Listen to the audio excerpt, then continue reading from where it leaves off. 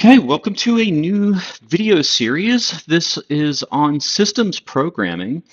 And the plan for this video series is, well, I found this uh, old retired course website for systems programming. You can see the web address up here. Um, no clue if it was ever intended to be viewed by strangers, but I found it. So I'm going to use it. And um, and uh, basically the plan for this video series is that I'm going to basically do a walkthrough of kind of me taking this class. Uh, you know, it's old and I don't have access to the lectures or any things like that. But I will read the textbook, talk through my thoughts on the textbook. That's almost, I guess, kind of like a lecture or something like that. Uh, or a or a you know companion to the textbook. You could think of it that way.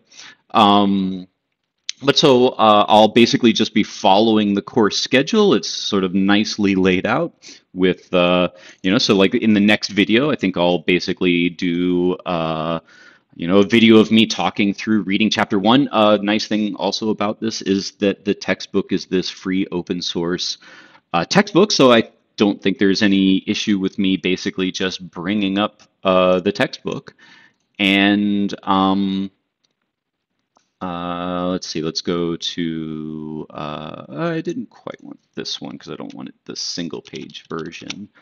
Um, but yeah, so right, free online version, uh, collection of documents, and then you get this sort of nicely laid out, nice uh, textbook on systems programming. And so, you know, in the next video, I'll be uh, talking through my reading of that.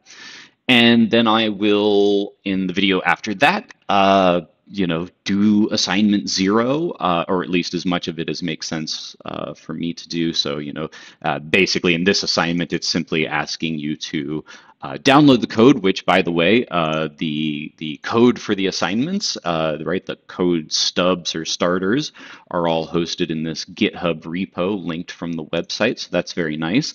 And so I've cloned the repo and I will you know, I've already implemented uh, the code here, but I'll make another video in a minute talking through it. But in any case, right, you know, basically you just uh, uh, pull up, you know, clone the repo and start editing according to the uh, instructions.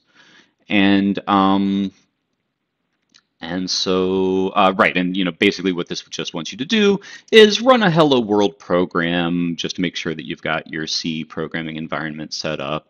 Uh, and uh, and then it wants you to do a, a basically a very small uh, you know, file that you've made on your own, uh, just to make sure that you know it's it's basically just a step up from a from a you know a hello world, or if it's even that. But in any case, so that's the plan for the next video. And so you know that's also basically the plan for how these videos are going to go. So I'll do a video on reading the chapter, a video on doing the assignment, a video on you know basically each thing that is laid out to be done in this course, and uh, so let's just take a quick look at everything that is going to be covered. There's C programming, C programming, uh, binary representation of data, sure, computer architecture assembly, uh, memory management, malloc, um, operating systems. You know, a lot of the stuff that is fairly common in the broad uh, category of systems.